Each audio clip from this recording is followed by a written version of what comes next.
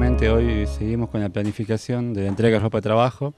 Estamos en el cementerio entregando lo que es pantalón, camisa, zapato y algún elemento más para el personal, principalmente los panteoneros, que son los que están sujetos a un riesgo un poco más grande.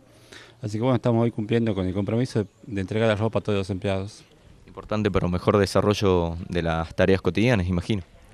Sí, la verdad que es muy importante, sobre todo este tipo de actividades que son servicios para el vecino, en donde el empleo está sujeto a riesgos, al desgaste de la ropa y por eso el intendente nos pidió que avancemos principalmente en estas áreas, que son las áreas que, están que tienen contacto directo con el vecino y que de esta manera se va a poder brindar un mejor servicio, así que bueno, vamos a seguir con todo el sector de servicio para poder en estos primeros meses completar toda la planificación. ¿Hay algunos sectores que se podrían anunciar? Bueno, ya lo que es la, parte de servicio, obras públicas, cementerio, que es la parte más pesada, ya en el mes de enero ya lo completamos. Lo que sigue es la parte ya que tiene que ver con la parte de gobierno, que es la parte social, que es lo, menos, pero seguramente en los próximos meses lo vamos a estar completando.